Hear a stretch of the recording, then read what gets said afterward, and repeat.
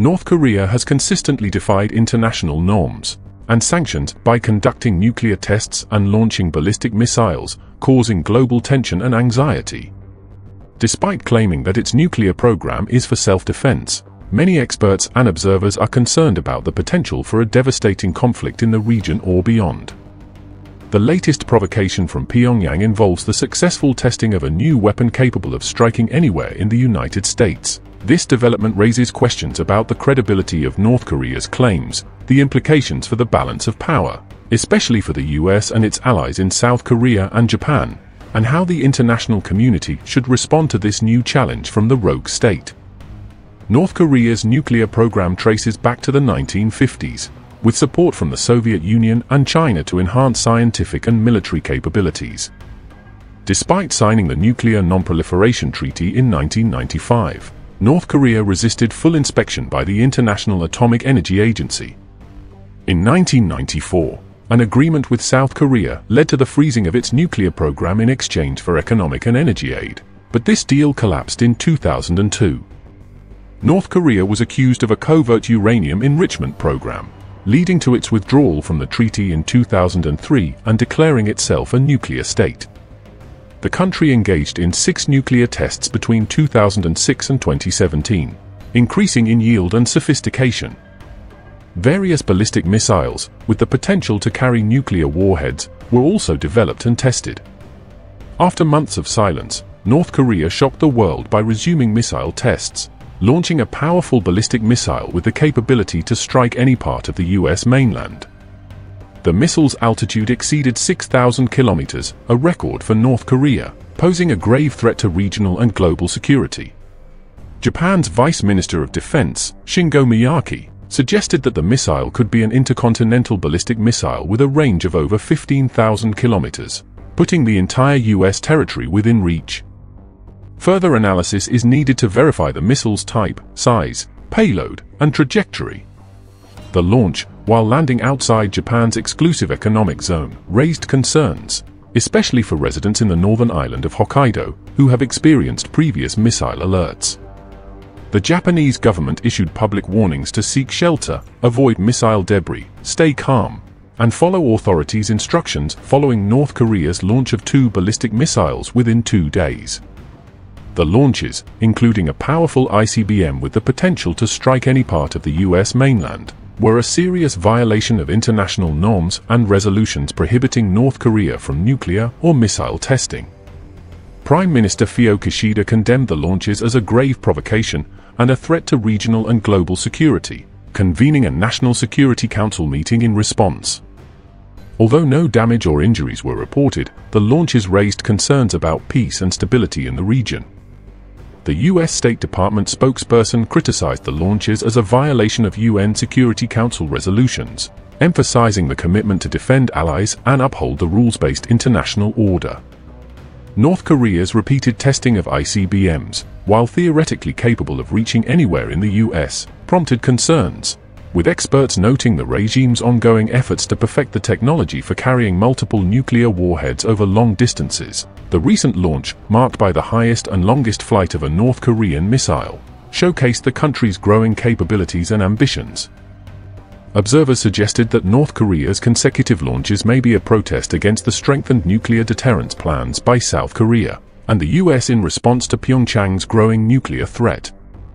US and South Korean officials met in Washington to update their nuclear deterrence and contingency strategies, incorporating nuclear operation scenarios into joint military exercises next summer. They also explored ways to enhance cooperation with Japan and other partners to address the North Korean challenge.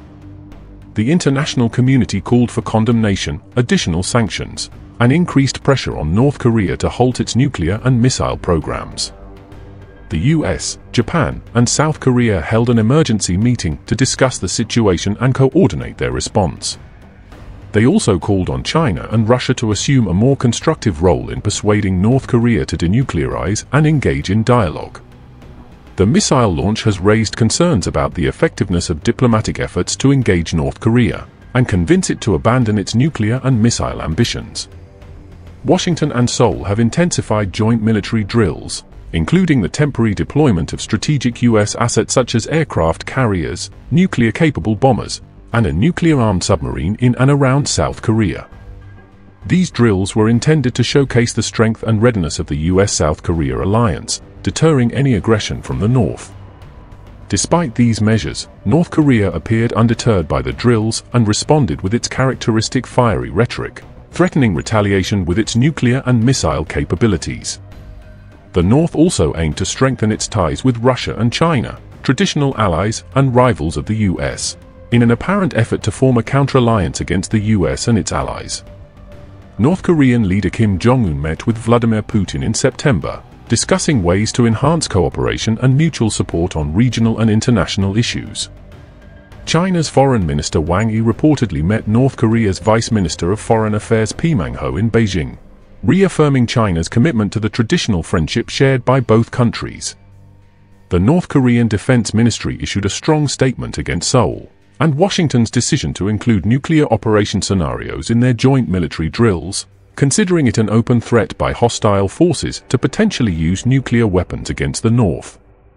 The ministry warned that any attempt to use armed forces against the DPRK would face a preemptive and deadly counteraction. The statement accused the US and South Korea of escalating military tensions and undermining peace efforts on the Korean peninsula. Tensions between the two Koreas escalated further, after North Korea launched its first military reconnaissance satellite into space on November 21, defying UN bans on its space and missile activities. The launch marked a significant advancement in North Korea's missile technology, moving towards establishing a space-based surveillance system to monitor enemies' movements and enhance strategic capabilities. Despite international sanctions and pressure, North Korea demonstrated its determination to pursue nuclear and missile programs. In response to the launch, South Korea announced plans to resume frontline aerial surveillance, aiming to enhance intelligence, deterrence capabilities, and counter threats from the north. North Korea quickly retaliated by restoring border guard posts, breaching a 2018 inter-Korean deal on easing frontline military tensions.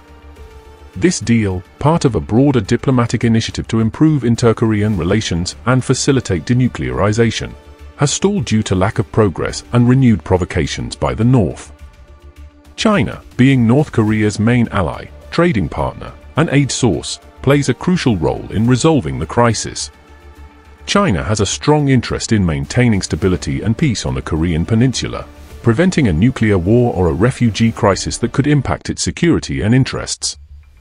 Additionally, China seeks to avoid a scenario where North Korea collapses and reunites with South Korea under US influence, potentially altering the balance of power and creating a US-friendly neighbor.